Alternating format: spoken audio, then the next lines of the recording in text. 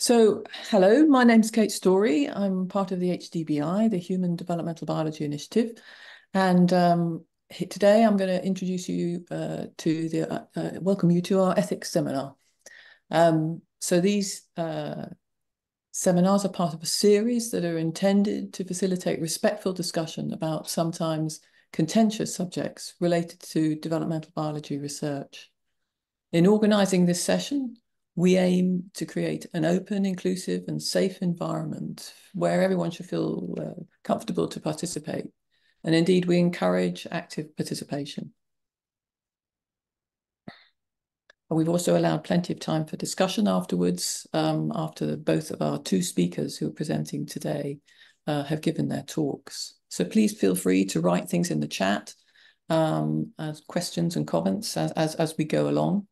Um, and be aware that uh, only the talks and not the discussions are going to be uh, presented, uh, are going to be recorded uh, during the during the um, uh, seminar. So our first speaker today is is Dr. Ilke Turkmendag. Hello, Ilke. Um, Ilki is a reader in biomedicine and society and law and, and biomedicine and society at the law school at the University of uh, Newcastle. She's a LIGO medical scholar working in the intersection of science and technology, and she studies bioethics, sociology, with an expertise in human reproductive technologies. Her research has addressed human egg provision for stem cell research, mitochondrial replacement techniques, and maternal epigenetics, uh, as well as human genome editing and most recently longevity uh, technologies. In the law school, she's the director of the Law and Futures Research Group.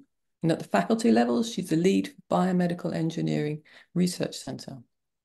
Ilke is also a member of the Wellcome Trust Social Sciences Discovery Advisory Group and the AHRC Peer Review College. She serves on executive committees of the Socio-Legal Research Association and the North of England LIGO, Medical Legal Society. So Welcome, Ilke. Thank you for agreeing to give a talk.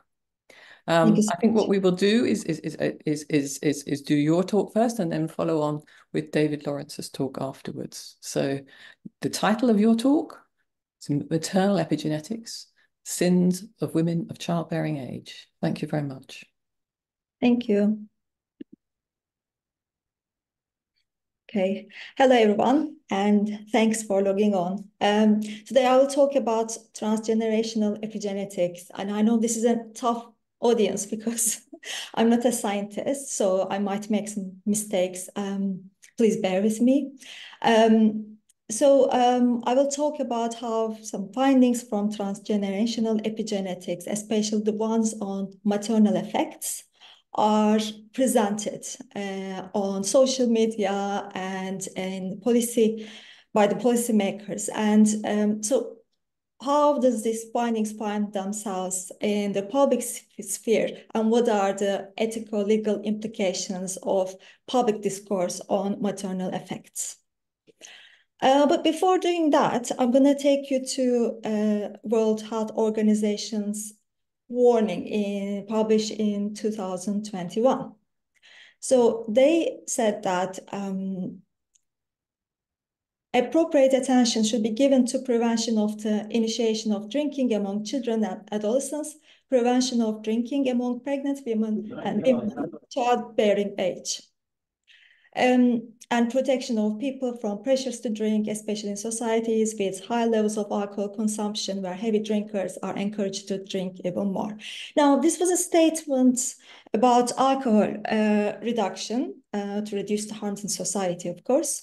And I would believe that it was a well-intentioned statement, but the statement was met with immediate backlash on social media because of the definition of the vulnerable group here as um, women of childbearing age, which is, according to WHO, from 15 to 49 years old. That means that any women in childbearing age um, cannot and should not drink because it will harm potentially um, the baby that she, they, they might have, regardless of their plans of having a baby or not.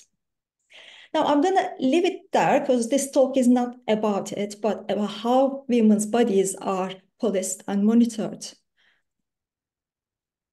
Now, this kind of risk messaging that targets women of reproductive age and pregnant women in particular is not new.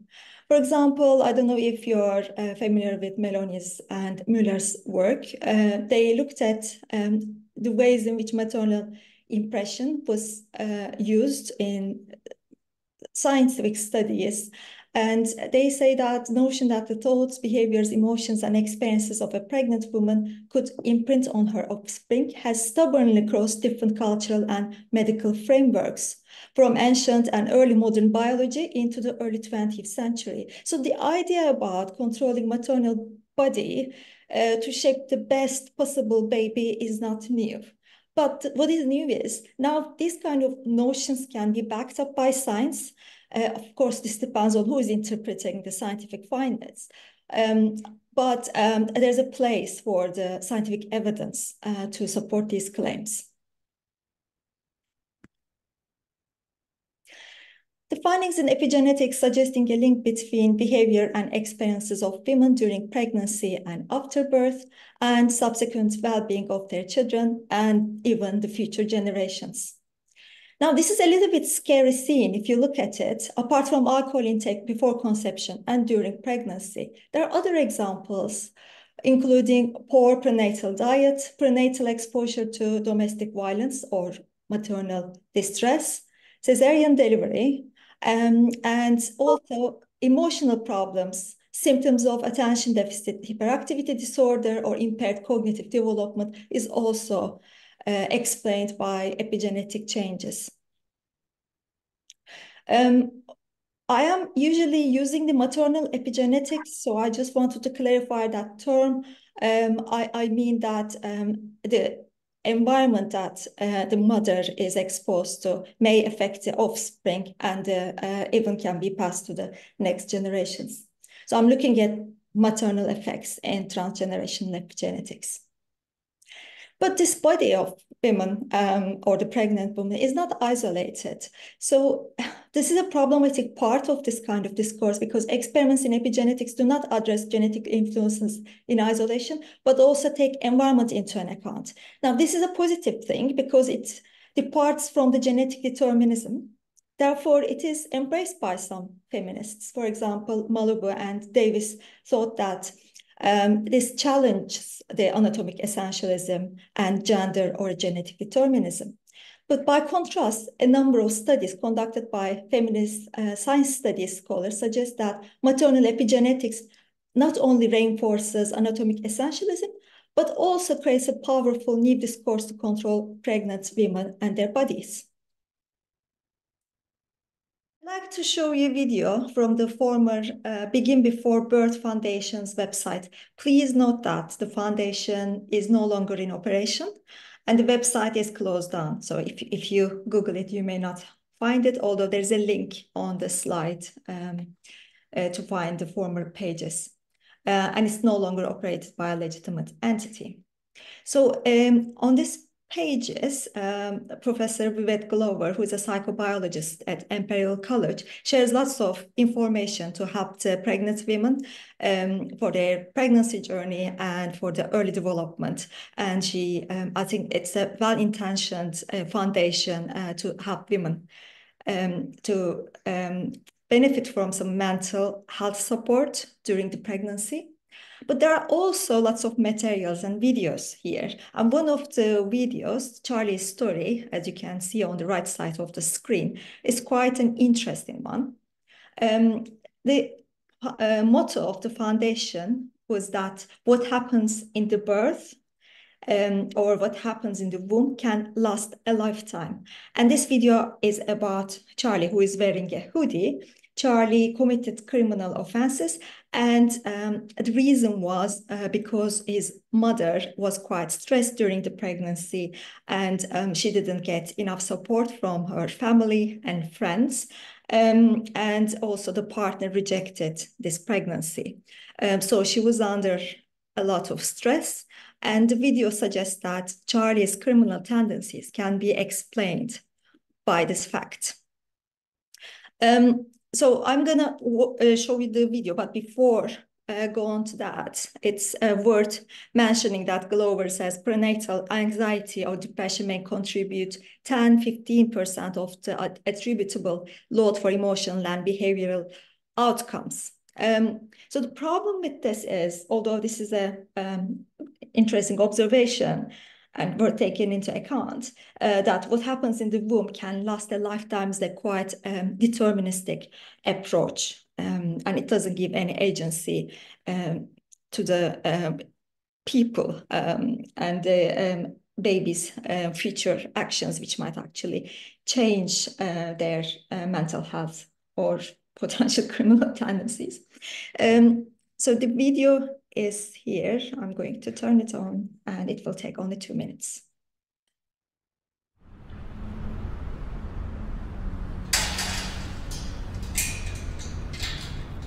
I'm Charlie. I'm 19 and I spent the last year of my life in prison. I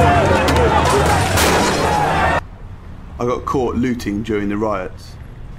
Like many arrested that night, Charlie had previous convictions for theft and was known for his aggressive behaviour.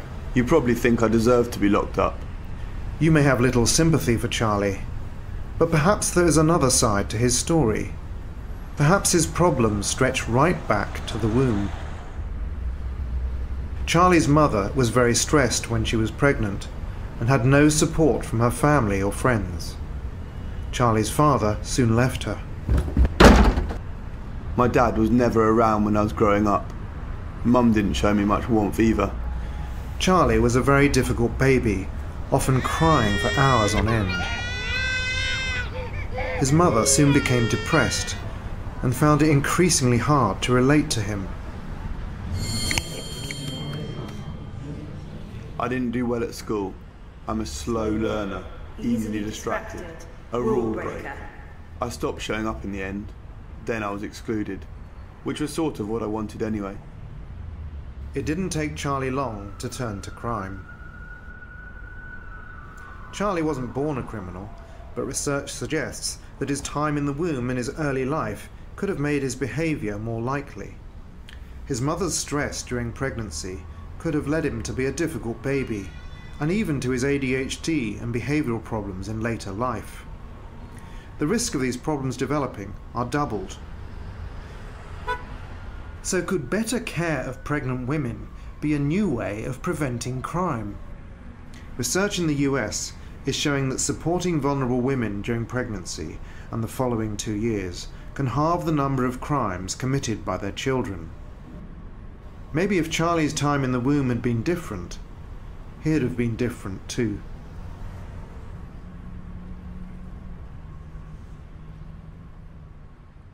But uh, the unknowingly deterministic motto that what happens in the womb can last time, can last a lifetime is surely problematic. And I understand the well-intention behind that. Um, this, but in most cases, the stress during pregnancy could be caused by lots of different reasons, economic, food insecurity, unemployment, um, losing someone. Um, so there is really not easily uh, easy way to address that and give fetus a safe environment. In the UK, where access to med mental health care gets increasingly difficult, with waiting times up to six months, that help will not be always available. And if a mother feels that her emotional state is causing detrimental and irreversible harm to the child, like they mentioned in the video, ADHD, for example, she's not going to feel any better, will she? So this is the problematic part of uh, translation of uh, epigenetics in the public sphere. Um, and this is another example from social media. Don't worry, there's no videos here. um, this um, study was presented by Man Hasselmans uh, in August this year. And the study he's talking about suggests that pregnant mother's diet influences the child's taste preferences. So here, he says that this begs the question of how acceptable it should be for pregnant women to eat junk food, as this will predispose the child to like those foods and probably not healthy whole foods. And he also, as you can see in the screen, is referring to currently the social norm is that smoking and drinking during pregnancy make you a bad mother, yet gaining lots of weight, far more than necessary for a healthy pregnancy, and eating unhealthy foods are socially very accepted, sometimes even encouraged. So he's actually criticizing. So we should not only police women for smoking and drinking during pregnancy, but also their food choices. It, these examples, I mean, I have many and I don't have time to show you, but they all show that the pregnant body is considered a closed system, a microenvironment for fetal development that we can control. Um, and yes, we all wish that we can have a happy pregnancy and um, not exposed to stress, and we have the uh, sources so that we can have the best kind of diet and nutrition. But that's not the fact for many people. They're also exposed to lots of environmental pollution and hazards. And stigmatizing women or responsibilizing women for doing the right things during the pregnancy is a little bit problematic. But what we are going to look at here is the legal process, this, because in the legal process, the social understanding of the normative values around parentage holds a big value. I mean, if you think about the debates on abortion and how um, there is a desire to control the woman's reproductive body uh, in the US at the moment, this actually uh, gives a, lot, a little bit wider context to this. Um, claims associated with epigenetics may influence public notions of maternal responsibility towards future generations and also raise novel challenges for law, particularly for transgenerational justice. Uh, some lawyers talked about this and bioethicists as well. Um, they said that, for example, um, when epigenetics research focuses excessively on the maternal effect, where uh, women may be constituted as hostile or as potentially hostile environments for future people, and that might have legal uh, consequences. Uh, she rightly warns it's not hard to imagine a solution in the form of more regulatory and social constraints on women. And there are lots of examples of that. Uh, if uh, you're interested, you can read Fentiman's book. She has a book about this kind of interventions on um, women's body and pregnancy. Uh, so it's not unheard of or unprecedented. Given the causal relations that may be established in epigenetic studies, legal thinkers already started speculating how epigenetics can be used in the court. For instance, Robinson notes if connections between present actions and future consequences can be established scientifically via epigenetics, a tidal wave of legal claims would potentially arise of children against parents, grandchildren against grandparents, and so on. And actually, I saw um, some news coverage of you can sue your um, grandparents for what they ate during pregnancy. This is not, uh, this is already in the uh, social media and news. Furthermore, as epigenetic changes can be transmitted to subsequent generations, concerns arise as to whether transgenerational claims could be successfully established in the court. There is also example of this for example, cases relating to um, diethylstilbestrol, DES, in the US, illustrates how the courts were faced with claims as to epigenetic imprints from multiple generations. The initial claims were successful, made by mothers and daughters exposed to DES against manufacturers. Um, so there are the third generation claims were not successful, but there is also a precedent in the law that this might happen. Um, I have conducted some interviews. This was funded by British Academy and the Leverhulme Trust. Um, I spoke to um, legal thinkers and bioethicists uh, to see if um, these the discourse available in the public sphere can rise to legal and moral um, obligations, um, and whether this can be even used in the court. Well, actually, it does look like that there is a risk of that. Um, for example, uh, one of the bioethicists says that we need to be careful, we need to put safeguards against bad interpretations and discrimination. Uh, but it is going to be difficult to anticipate those issues.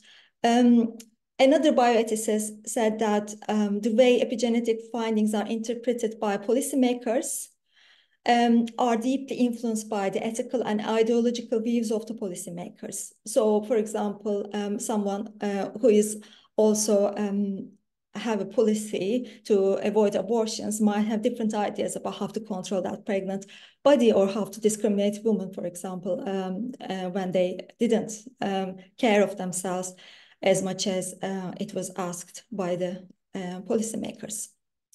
There are also uh, there was also a talk of gender biases. Uh, for example, this bioethicist says that there are ways to articulate epigenetics that are compatible with classic neoliberal logics of responsibilizing the individual.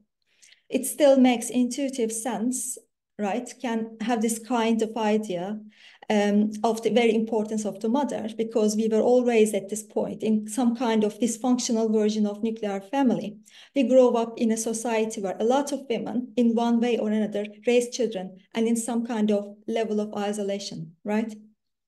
So um, uh, the bioethicist here is talking about that there's already um, that idea of women as carers of the children. Um, and this, this might actually uh, affect the ways in which uh, gender biases uh, play out in the court. Um, a lawyer said that I would give very little credence to these victim blaming schemes. So he uh, referred it as victim blaming schemes. And um, he said that start telling me you are going to now blame men as well as women and their role in this, and then I'll pay attention to you. And also, uh, he reflected on uh, his work in the past in terms of blaming mothers. One issue that I worked on for many years is policies in the US that excluded from the workplace, uh, excluded women from the workplace who not only were pregnant, but they were fertile. So they were potentially pregnant, and therefore they weren't given jobs. Um, and it went to the Supreme Court. So it's the same kind of issue that we've been seeing. And there's also some concern about the stigmatization of women, especially pregnant women. Um, this uh, lawyer, another legal thinker, says that it's a well-known fact women are already under pressure for their behavioral and other life choices during pregnancy. And if you can propagate this idea, then it's not only you will be responsible of how the child turns out like, but also for your behavior six generations after. This will kind of drill down even more pressure on women. Um, so overall, um, the scientific findings in epigenetics and maternal environment are too preliminary at the moment to provide a solid evidence in courts. But we don't know how it will play out in the next, for example, 10 years. And even if the evidence is good science, because it's not always translated in the accurate way, uh, but even if the evidence is good science, it will almost impossible to isolate epigenetic mechanisms from the social context. So you can see the um, causality between, um, for example, Charlie's um, criminal behavior and his mother's exposure to stress. But that that's an isolated environment. Um, what's important is where she was living, why she was stressed. And those are the um, environmental facts that we cannot control. And also, this relationship is a very private one, as held in Stallman and Youngquist. The relationship between a pregnant woman and her developing fetus was like unlike the relationship between any plaintiff and defendant. So putting them against each other is very problematic. Um, almost all bioethicists and legal thinkers agree that gender biases play a big role in our understanding of moral responsibility, but also how we understand and translate the epigenetic findings. There's also a lot of evidence coming from um, transgenerational epigenetics um, that showing the, uh, for example, a father's um, exposure to bad environmental um, hazards can cause uh, problems in the sperm, quality of the sperm, but that's not we are picking up in the social media. So finally, while the findings from epigenetics research can generate useful insights uh, to enhance uh, people's lives, um, and of course, the pregnant women's lives, um, by tackling with social inequality, they may also bring an undesirable effect of discriminating and stigmatizing certain group of people. And uh, that's probably something that we have to think about uh, when translating findings from epigenetics to public. So I think that would be all. I welcome all your questions and thanks for listening. Thank you very much, Ilke. It's uh, it, it's fascinating to think about how advances in science can change the way we perceive our own bodies as women, but also how how we are also um, framing that in terms of a wider society and and and the responsibility women have for their for their developing child. So we'll come back with discussion about that um, after after uh, uh, David Lawrence has given his talk. So I'll briefly introduce you, David, as we I think we're probably running a little bit short on time. Um, I'll try and be quick. Sorry, so it wasn't it? yeah, never mind. It's okay. Um, David is a bioethicist researching ethical, legal, and policy implications of emerging biotechnologies, including neurotechnologies, implantable devices, and human enhancement. He has other interests in bioethics and medical law more generally, with a current uh, project focusing on the creation of new life forms through synthetic biology. He's an editor of the uh, Clinical Journal of Neuroethics and the Cambridge Quarterly for Healthcare Ethics. And David's talk today will explore ethical and legal challenges posed by neural organoids and related technologies, particularly the moral and sentience related risks posed by advanced neural models, and consider whether these need new forms of regulatory insight. So, a very different topic. Thank you very much. Thank you. Um, I also just to say, there's a lot of people here. Thank you for coming to listen to this. Uh, it's far more than I perhaps anticipated. Uh, I want to preface just by saying um, this is a, a, a, fairly broad overview. I thought the thing to do would be to discuss kind of what issues are being discussed, what ethical issues and sort of policy related issues are being discussed um, in the places that such things are discussed. So there won't be a huge amount of depth on on most of the things that are mentioned, but I just thought it was important to highlight what is being talked about. Conveniently for me, that includes the thing that I'm most interested in, which is the sort of moral status related uh, thing. We'll, we'll, come to that in a moment. Um, so yeah, this will just be uh, a kind of an overview of the what are probably the more pressing ethical and regulatory questions uh, coming out of neural organoid research. Um, specifically thinking about things like how these structures are forcing us to rethink some of the fundamental issues and the frameworks that we use to govern them. Um, but my point is that this, you know, this isn't theoretical. As these technologies or things like neural organoids and, and related technologies develop, there is a need for a kind of much more nuanced ethical oversight. And this is becoming sort of increasingly urgent. Just trying to start my stopwatch so I don't go over time. Sorry. There we go.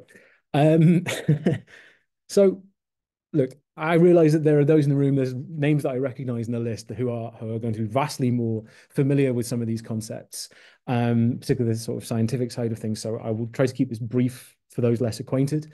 Um, neural organoids are essentially 3D brain-like, and I use that term advisedly, um, structures grown from pluripotent stem cells.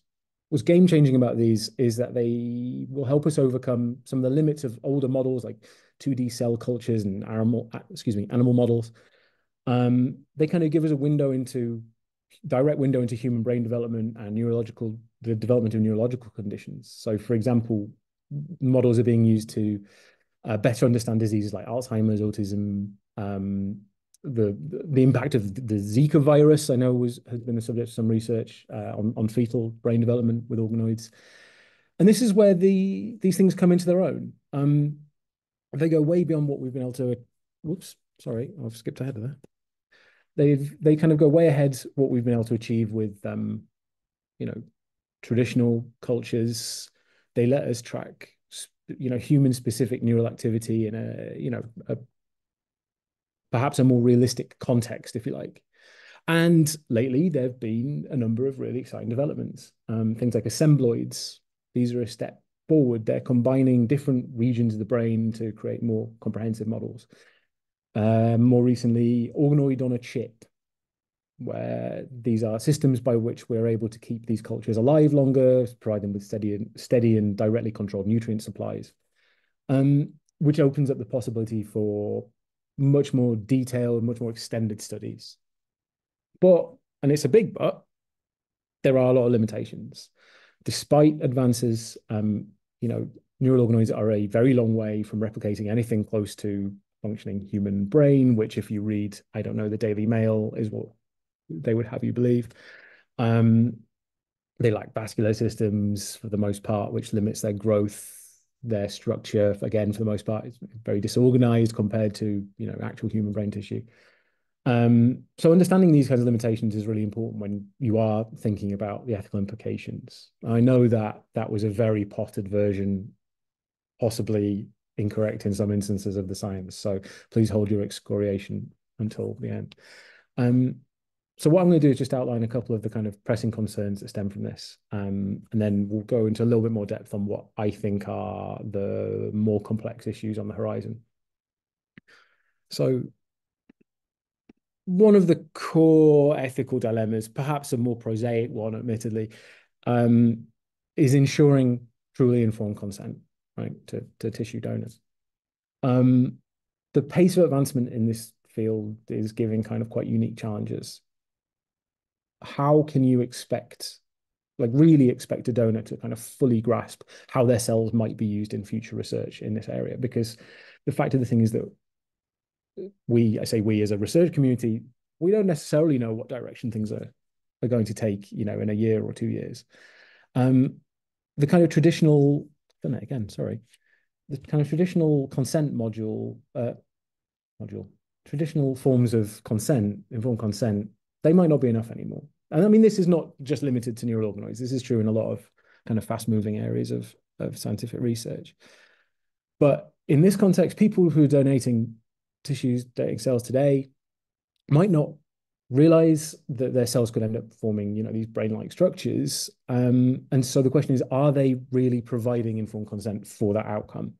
And the question is that even if we are to try to explain these things, as I say, we don't know exactly what direction the research is going to be taken.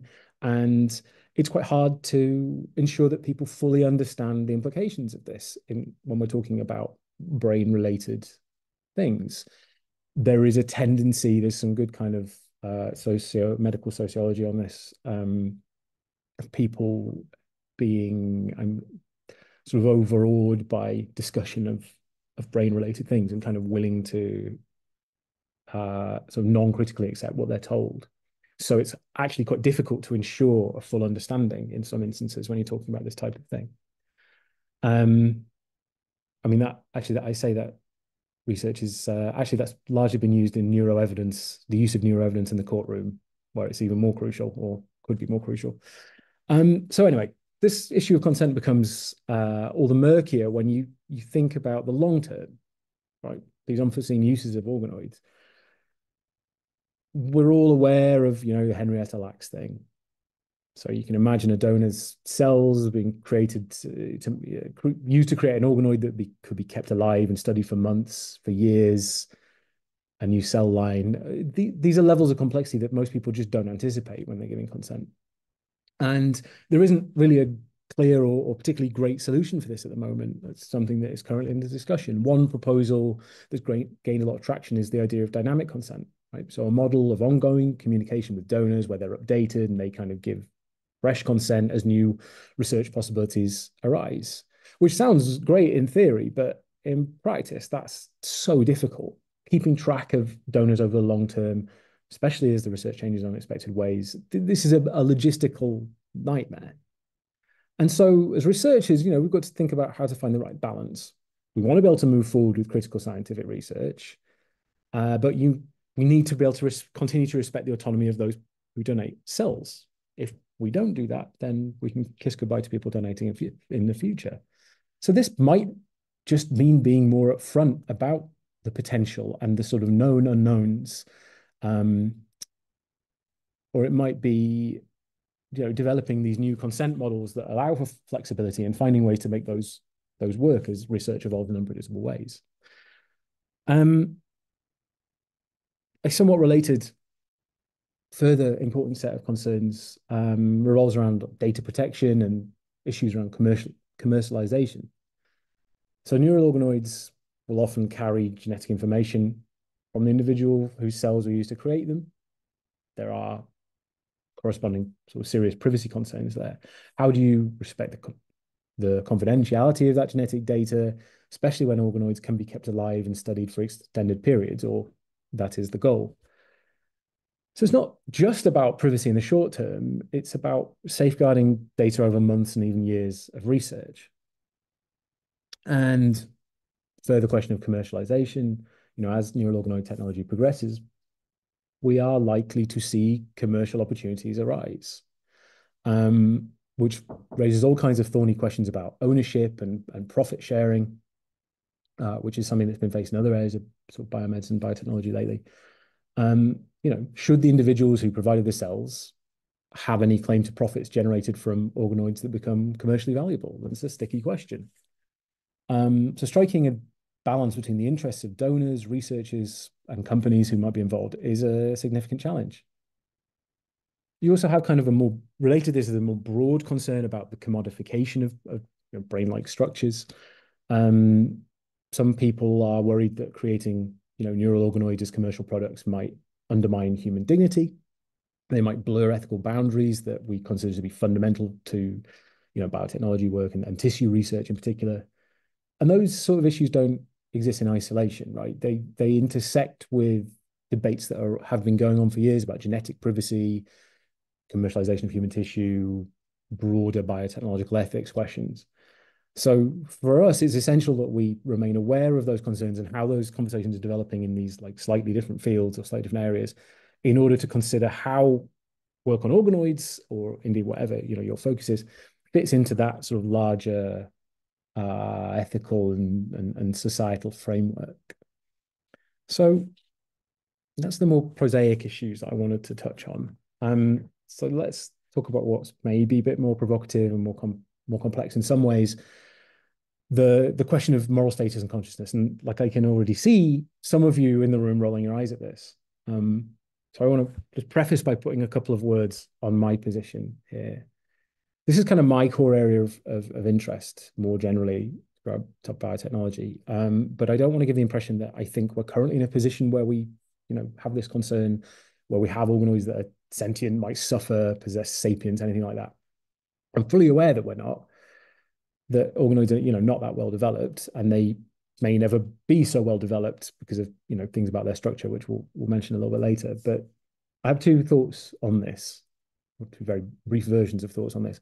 One is that, well, my intent here is to give an overview of what's been discussed in the kind of ethics and policy sphere around neural organoids. Every room that I've been in where we've been having these discussions at whatever level, this issue has come up. If it and if not been the the, the kind of the core focus of the discussion.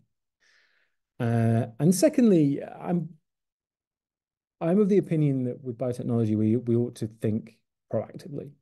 Should this situation never arise, then okay, well, we wasted a little bit of time talking. But if it were to arise, as we'll discuss a little bit later as well, setting up any kind of regulatory regime will take an awfully long time, decade maybe. And it's it is taking a long time and taking a lot of work. And if it needs to account for a scenario with with moral status kinds of issues, then it will take even longer because these are difficult to pass out. So it kind of behooves us, in my view, to start thinking about it early. So I'm just going to outline the very basics here. Um, as these organoids become increasingly sophisticated, they exhibit more brain-like or more akin to brain activity. We are forced to think about these challenging questions about moral status. Um, you know, at what point, if any, might an organoid deserve moral consideration in its own right? And this is not just an academic question, right? It has profound Im implications for how we conduct research, what limits we place on experimentation, and so on. Um, when we think about moral status, you know, it's the intrinsic value of things. This is in, inextricably linked to questions of consciousness. We've seen, you know, reports that have been heavily criticized, uh, studies reporting patterns of electrical activity. There was that paper from 2019, the name of names of the author I forget, but uh, that, that purported to show electrical activity resembling those seen in, you know, like a premature human fetus neural tissue. I believe that that was sort of largely debunked, but these are concerns that people have. Um, you know, that was supposedly showing coordinated waves of activity, which I know does happen. The the thing that was in question was like whether this was actually representative of something that might happen in a preterm uh, fetus. Um, so, you know, while it's crucial to emphasize that, uh, you know, current organoids are far too simple to possess anything resembling what we might think of as human uh, consciousness, then these findings kind of raise really important questions about the future trajectory this technology is going to take. And so I feel like I should say what we mean when we talk about consciousness in this context then. Within bioethics more generally, consciousness could refer to a range of capacities. And it's, you know, this is something that is a constant argument. For my purposes, its most basic, it might mean the ability to have, you know, any kind of experience, even if it's not something self-reflective. You know, I, I, this is all, as I say, this is not widely agreed. Everyone has their own interpretation. So every paper that talks about this will set it out at the beginning. But for my purposes, I tend to divide it up like this. Sentient beings can experience positive and negative sensations, right? That we can think of as representing the sort of most basic level of consciousness. Above this, we might think of beings that are self-aware, or to different extents, uh, capable of experiencing like a wide range of subjective mental states. And that might encompass a broad spectrum of cognitive abilities. And within that category, there's, there's, you know, significant variation as the kind of complexity and richness of conscious experience can differ greatly between uh, the sort of subjects. Beyond that, we have what we might think of as sapient entities, things that are in possession of advanced cognitive abilities, reasoning, abstract thinking, moral agency. These are things that we would, you know, associate with personhood and what we sometimes call full moral status, the kind of thing that, you know, we like to think that we possess. Um, obviously not an issue for organoids just yet. There are also, of course, various kind of competing theories of consciousness that we, we have to throw into the mix in these discussions. We might think about things like higher order theory, where it's arguing that consciousness requires the ability to reflect on your thoughts, which you know organoids don't have, obviously. Uh, things like integration, uh, excuse me, integrated information theory, which is quite popular. On the other hand, suggests that you know even simple neural networks might have basic awareness. There's other things like global workspace theory, which I'm personally slightly less familiar with, but uh, you know, these see consciousness as the product of widespread neural activity, right? Which is maybe a level of complexity that organoids haven't yet reached. This is something that goes hand in hand with complexity science, which is something I'm starting to try and learn about myself. But because there's this big range of interpretations, it becomes quite challenging to pinpoint exactly what constitutes sort of morally relevant consciousness in organoids. But um, I like to be pragmatic, right? This is kind of my my thrust in a lot of what I write. I think that we can cut through a lot of this to get to the heart of the matter. And the lawyer, uh, Hank Greely, did this really nicely. Um, he asked if it looks like a human brain and it acts like a human brain, at what point do we just treat it like a human brain? And I think that encapsulates the core of the ethical quandary like quite nicely. It's, it's like a nice little nutshell. It's a bit soundbitey. It makes some assumptions, but I think the thrust of it, yeah, I'm on board. Um, so to kind of address that, some ethicists really go for a, a, precautionary approach, right? They argue that given the uncertainty, the high high stakes that could be involved here, then we should err on the side of caution, and that might mean treating organoids like they have a you know a, a degree of moral status worth protecting once they reach a certain level of complexity, even if we're not actually certain that they do possess sentience or consciousness of any kind.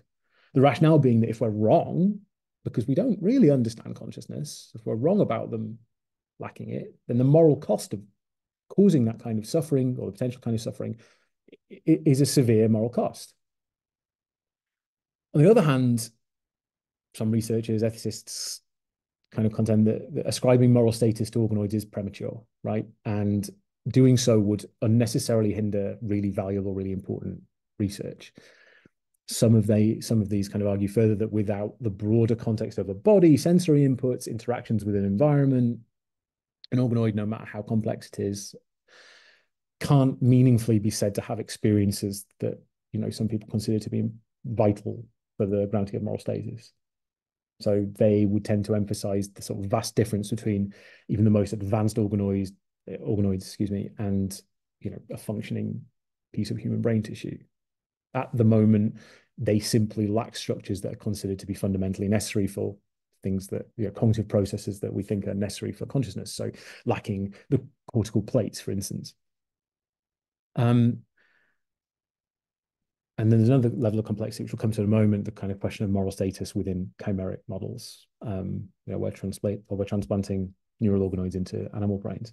But as we sort of navigate these sorts of questions, it's worth sort of thinking about the concept of moral status as a continuum rather than a binary state. you know, maybe as organoids develop more sophisticated neural activity, they could be granted increasing levels of moral consideration, mirroring in some ways how we often afford different levels of moral status to various forms of life that we're familiar with.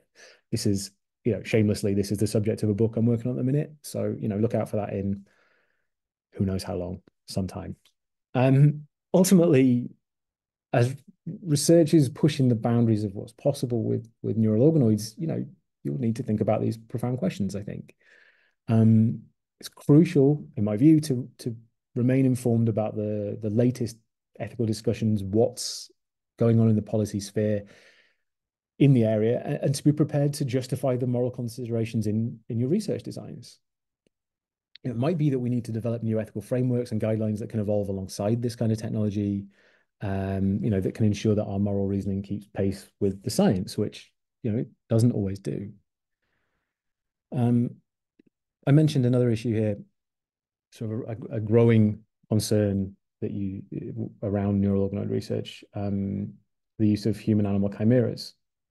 The, the, ethical questions here are not new particularly, um, but in this instance, uh, you know, you're transplanting neural organoids or organoid tissue into animal brain tissue, primarily to sidestep, or my understanding is primarily to sidestep the sort of size and vascularization limitations that we we have in in vitro models. I could be mistaken about that. Um, which is exciting. There's exciting research opportunities there, but it it opens up the door to a number of significant ethical questions that kind of have been going on in the chimeric sphere for a while. Uh, the first being more obviously animal welfare. Know, how does introducing human neural tissue impact on the host animal? Cause suffering? Could it change the animal's cognitive behavior in ways that might raise serious sort of welfare issues? Uh, there's a broader question about humanization. You know, if part of an animal's brain is made up of human neural cells, like at what point do we need to start reconsidering its moral status? Right? You know, could they could chimeric animals be developing cognitive capacities that are in some way resemblant of those of humans? And if so, what ethical obligations do we then have to these strange new creatures in you know in in in how they're treated? And we can push it even further and say, you know, like or you push that last idea further rather uh, there's a really tricky issue the potential of the development of you know mental states that we might recognize or, or, cognitive abilities that we might recognize from humans whilst we are not at that stage of research it's an incremental risk that we can't afford to ignore. Um, you know, experiments, as I understand it, have already shown sort of some degree of integration between human and animal neural tissues. And there are suggestions, again, as I understand it, I could be mistaken, of behavioral impacts.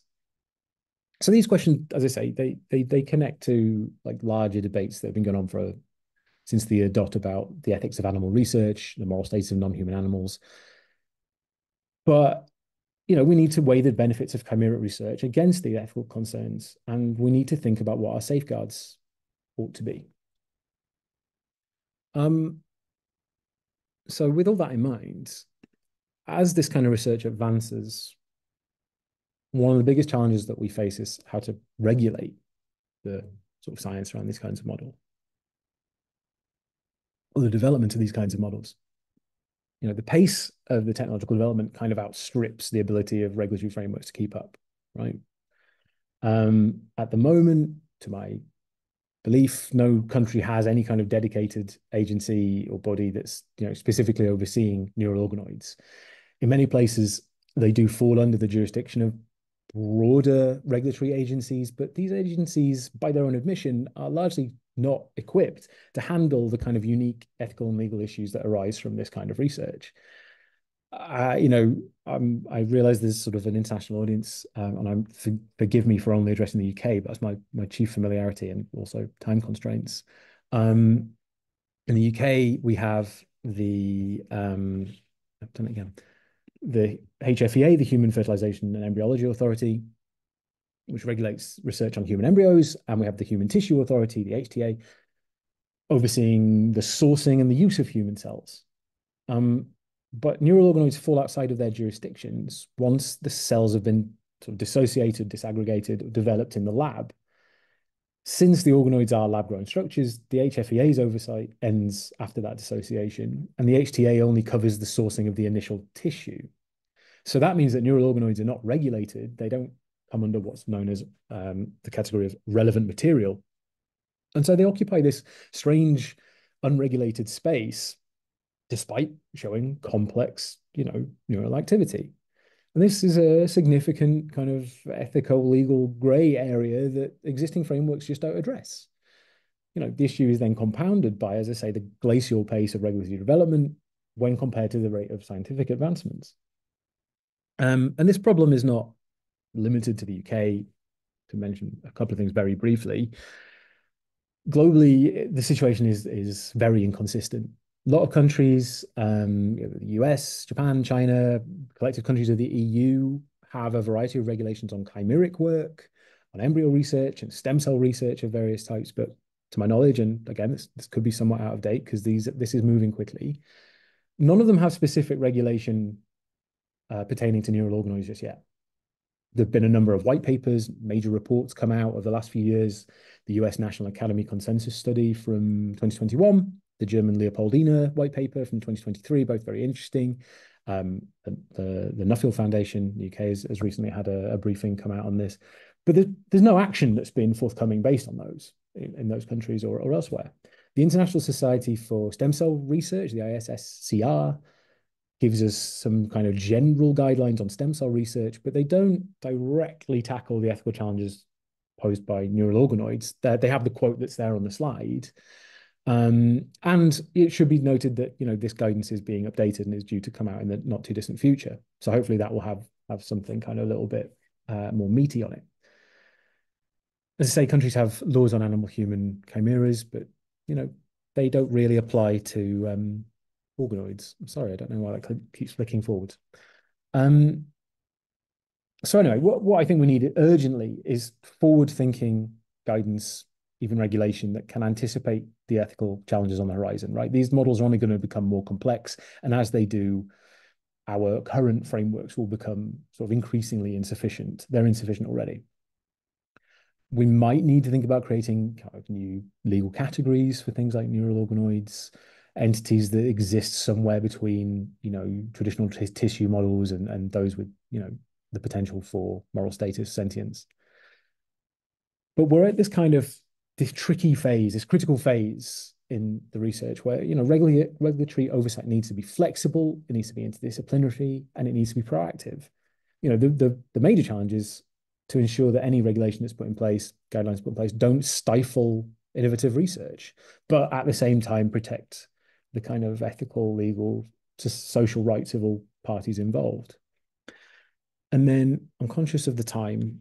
I'm coming towards the end. Um, as we look ahead, it's pretty clear that neural organoid research is moving into like this this critical phase, I say, um, one that really places it places us at at crossroads of of innovation and and ethical responsibility.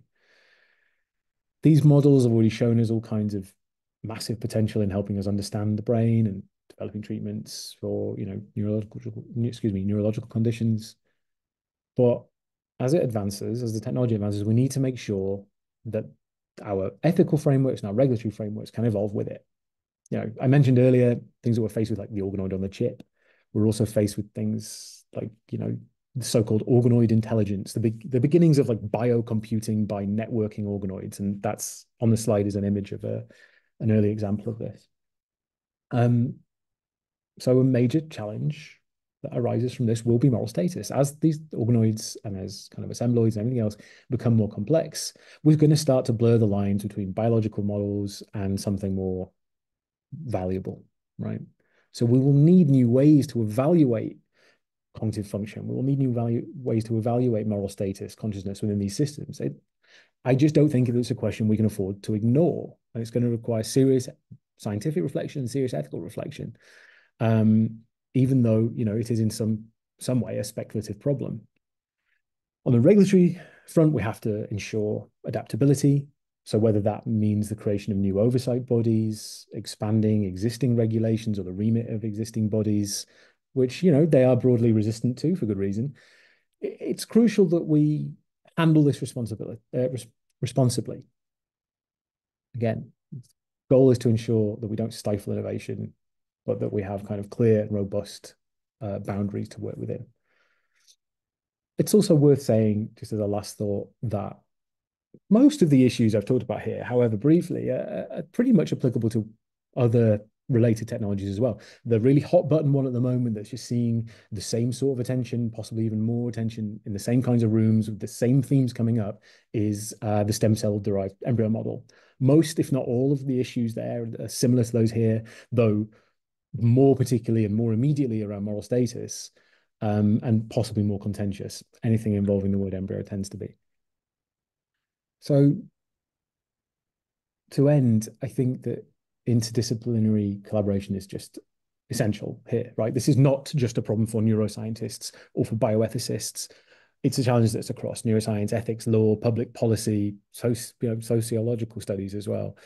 Um, policymakers, scientists, ethicists, we need to come together to think of frameworks that can encourage innovation and safeguard our principles. And as well as this, public engagement, I think, is quite key. Right, the societal implications of this kind of research are quite big to, to understate it. And we need to make sure that the public is part of the conversation as we go forward. Um, so to conclude, you know, this is an area with extraordinary potential, but it's somewhere where we must tread very carefully. And so, you know, how, as we encounter new challenges, do we as a scientific community and as an ethical community, how do we ensure that we're balancing those with, with kind of innovation? So thank you for listening. Sorry that that was a very whistle stop tour, but um, thank you for your time. Thank you very much, David. I think it's a it's a it's a great start to having the discussion, which, as you say, really needs to be across disciplines and across uh, peoples, from ex from uh, scientists doing experiments and ethicists and social sociologists and and everybody in the in the in the public who'll be affected and and uh, by these issues. So thanks again. Um, I should have said at the beginning, though, that I didn't introduce you properly because I just wanted to say that you are an assistant professor in bio law at the uh, Durham Law School. So just to get that clear. Thank you.